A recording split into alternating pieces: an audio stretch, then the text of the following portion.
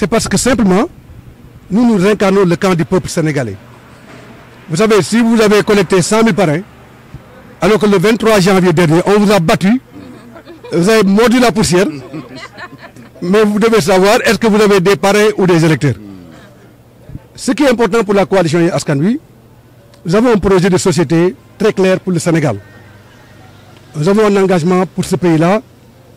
Cet engagement n'a rien à voir avec le folklore. Nous sommes déterminés à changer ce pays-là. Nous sommes mobilisés à ne ménager aucun effort afin que le Saloum qui est par terre, le Sénégal qui est par terre puisse se relever. Et cela est un énorme défi que la coalition Askanui s'est engagée à relever.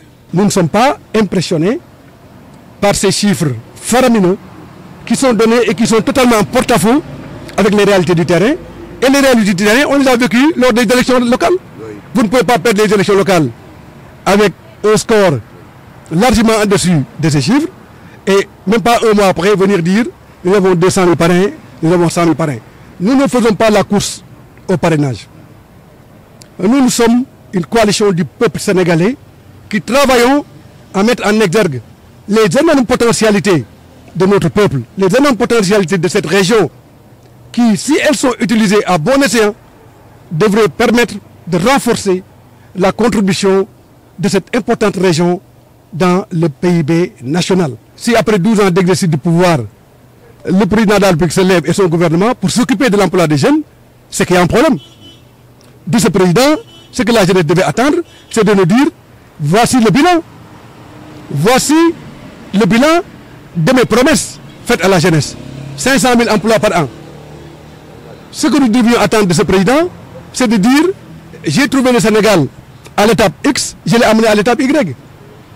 Ce que le président devrait dire aux Sénégalais, j'ai trouvé la démocratie sénégalaise dans une étape donnée, je l'ai renforcée.